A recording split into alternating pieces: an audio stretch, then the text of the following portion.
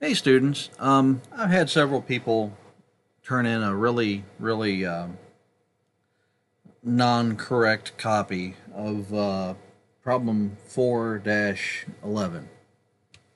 So I'm going to take the time out to show you how it should be drawn, okay? Um, it is on page 4-60. Uh, this problem is also in chapter 8, uh, it's one that you'll eventually uh, be doing. It's uh, problem P8-8. Now, I'm not going to dimension it in this uh, in this video. I'm just going to show you how you draw it and how to have it spaced uh, correctly as best as you can. So I'm just going to shut up and start drawing here. And start off with our object line. We're going to start drawing the front view. Now the front view is, um, excuse me, I've been doing a lot of talking tonight. Uh, been doing some videos, so please bear with me. Um, so I'm just going to start down here, and I'm going to go 20. Okay, that's where I am on that. And you know what I need to do? I need to stop that right there. And I need to set my limits. L-I-M-I-T-S. Uh, let's see, 0, comma 0. And with this being a metric drawing, I'm going to make it uh, 400, comma 400. That should give me plenty of room. Then zoom all. Okay, now, here we go. So I'm going to go this way. 20. Right? Yep. And then I'm going to go up 50. We'll be right on that green line. 50. Then this way we're going to go 110.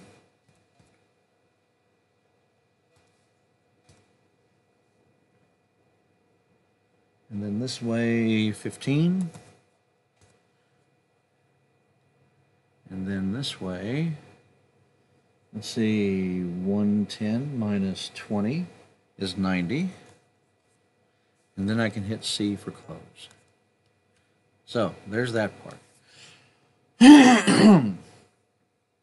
Excuse me, please. I know that's more annoying than hardly anything else. Now, I'm going to uh, make a line. I'm going to offset the bottom line 20 up. And then I'm going to change that to a hidden line. Okay. Now, before I do the rest of this, I'm going to draw the top view. Sometimes you have to uh, draw the other views to get a decent idea of what's going on.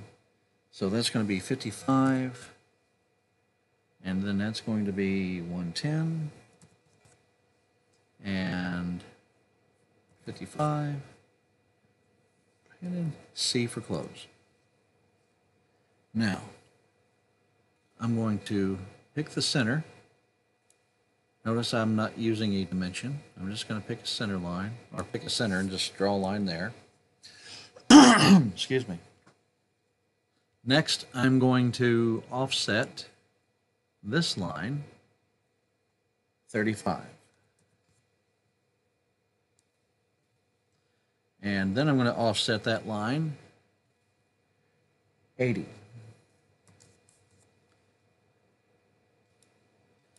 Now I have the two spots where my centers will be for my circles. So center diameter, this one, the diameter is 18. Okay. Now, if I hit enter, and then I specify the center mark of the circle, then it's going to ask me specify radius. Even though I had first clicked the diameter, you know, center diameter. Well, now it's asking for radius. Well, 16 diameter, that's going to be a 9, oops, no, sorry, 8 radius. So there's that. And then I hit enter again. Now I could just as easily go up to the circle thing and say, you know, hey, I want to I want to put in the uh, diameter, not the radius. But it's simple. You know, a diameter, um, divide that by 2 and that's your radius. So 46 diameter is going to be 23. And there we have it. Next, I'm going to draw in the hidden lines. I'm going to go up here and I'm just going to draw a line straight down to here. Next, I'm going to copy, oops, I need to stop that. I need to hit copy and just do this and this. Notice I'm picking right at the edge of the circle. Okay? I'm also going to do this. I'm going to copy this line from there to there. Now, this one, I'm going to select Extend. Okay. Now if I hit that and then go to Trim, I'm done making that that hidden line right there. I'll do this here in a minute, uh, the spacing. Okay, so there's that. Now I can click this one, hit trim, boom, got that hole done. Now, next I need to offset 35. So, 35. Select that. There we go. I actually need to uh, copy to the inside there and there and then this and this become object lines. Okay, there we go. so now I click that, hit trim, those are gone. Then I hit trim again, and there we go. Okay? So this is a through hole. This goes all the way through. This one just goes from there to there. Okay, next. Oh, and this and this are not going to go into that. So trim, and there we go. Now that's much better. Next, I'm going to draw some lines. So I'm just going, oh, let me make these guys go away. And I'm going to offset let's see, that's 15 each way. So I'm going to go here, 15. I'm going to go here and here. Next, I'm going to select those, make them hidden. And then I'm going to select that, trim, and make those go away. So now those, that's going to be the gap between the legs over here that's making that hidden line. Now, now I'm going to draw the line in the object line. And I'm going to go from way back here way out here. A lot of people use construction lines. I don't. Um, it's not that there's anything wrong with construction lines. Um, I just never saw the need to have to redo them, make them into something else. I'd rather just go ahead and use regular lines and be done with it. Now we're going to catch these features.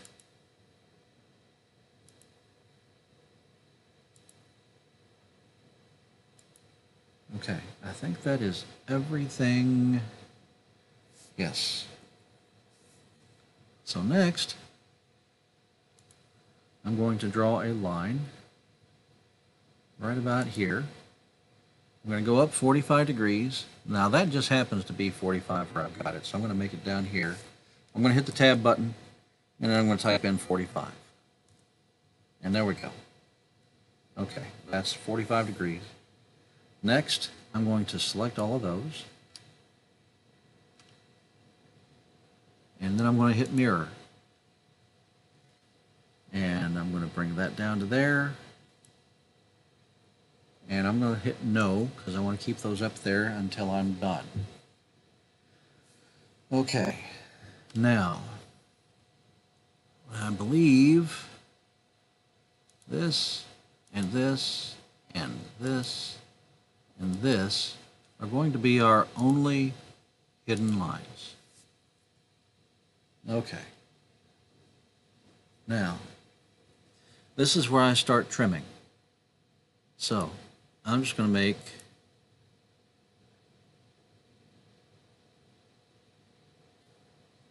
a big circle like that. Now I'm going to start digging away at things that I know are not needed. Now, we're going to go here and here. And we can take these on up. I know they're not needed at that point either. And then the outside line, the bigger of the two, does not, it only goes between here and there. Okay, now that's done. Now I can take these guys out. And this and this. And that. And that. I can go there. I can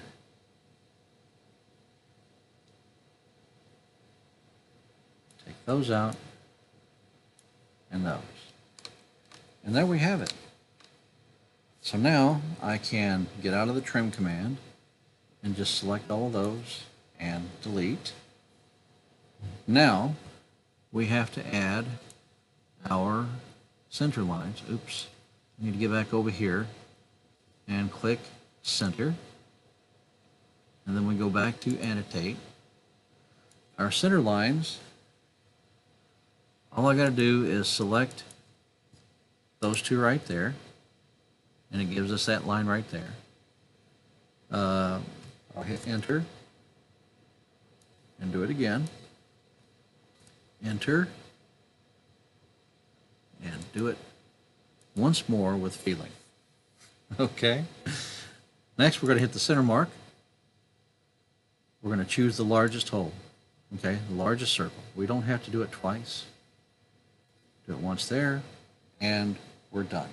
Now, we're going to take it into our metric drawing. Okay. Now, I'm going to double click here. Ah, I've already got it one to one. So let's see if I can make it all fit. Wow. Okay. That is better than I imagined. I did not plan that to be that close. Ah, as I mess it up. Let me hit the one-to-one. -one. Okay. Now I'm going to make the grid lines disappear. Okay, now we have to do a few things. Uh, notice the hidden lines and the center lines do not appear as either. So you type in LTS, line type scale, enter. Okay, where'd you go? Hello LTS, where'd you go? LTS, let's try it again, enter. Okay, says numeric value, requires numeric value, enter new line type scale factor. Right now it's at one, and that's why it's so tiny.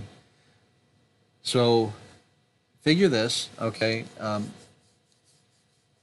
AutoCAD doesn't recognize whether it's an inch or a millimeter or a yard or a, a mile, okay? All it knows is ones, okay? It's one unit.